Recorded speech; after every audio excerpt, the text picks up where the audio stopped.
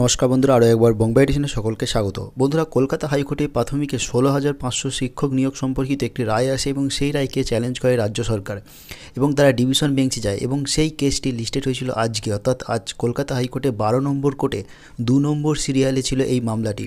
এবং সেই মামলার শুনানি হয়ে গেছে। এই মুহূর্তে সবথেকে বড় খবর যেটা আমরা পাচ্ছি, সেটি হলো যে স্টে করেছিল এই নিয়োগে, সেই স্টে তুলে নিতে হবে এবং তিন সপ্তাহের মধ্যে মেরিট লিস্ট প্রকাশিত হবে, এরকমই খবর পাওয়া যাচ্ছে। যদিও এখনও পর্যন্ত অর্ডার কপি আসেনি অর্ডার কপি এলেই আপনাদেরকে জানানো হবে। তো এই মুহূর্তে এটা সবথেকে বড় খবর যেটা আপনাদেরকে জানিয়ে দিচ্ছি। পরবর্তী আপডেট পেতে আমাদের চ্যানেলের সঙ্গে থাকুন, চ্যানেলটি সাবস্ক্রাইব করে রাখুন এবং বেল আইকনটি প্রেস করুন, যাতে ভিডিও আপলোড করার সাথে সাথে নোটিফিকেশান আপনার কাছে পৌঁছে যায়।